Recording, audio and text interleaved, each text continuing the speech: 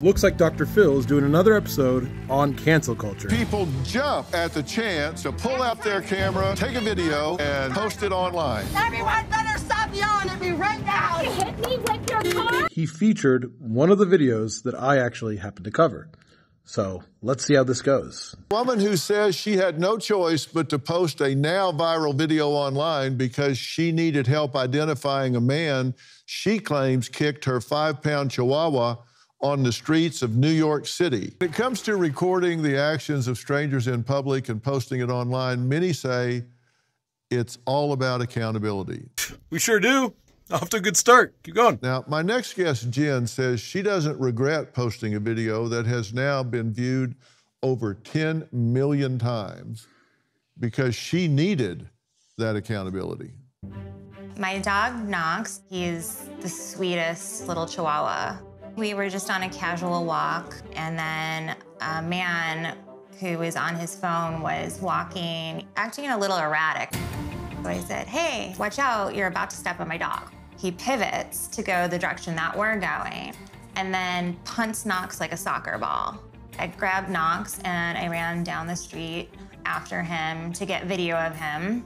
You kicked him as hard as you could because you were having a bad day. I see you guys blurred his face. I'm going to go ahead and put that right back in. I just want the internet to know that. This guy is a piece of I post the video to identify the guy, and the internet identified him in under two hours.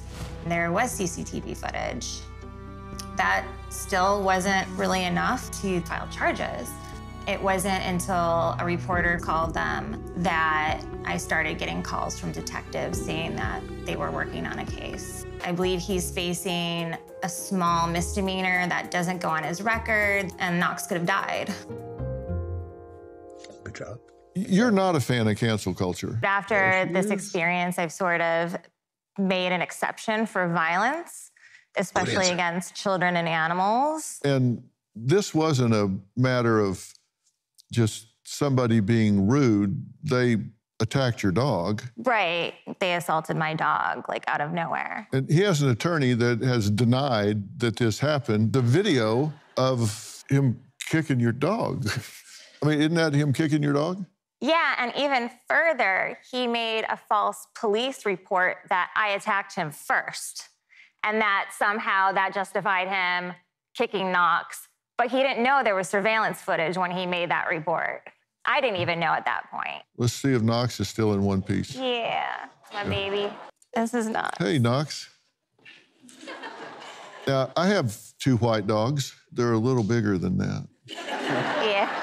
Yeah, he could have been killed. I think that's the part that like still gives me so much anxiety is I just keep thinking like how badly like he could have been taken from me. Yeah, and I think this is a situation where, you know, surveillance cameras and video cameras actually help, you know, when somebody's committing a crime. Absolutely. that? And when a crime is committed, thank goodness you had this Great answers, Jen. Look, she got Dr. Phil to change his mind on the whole topic of the show.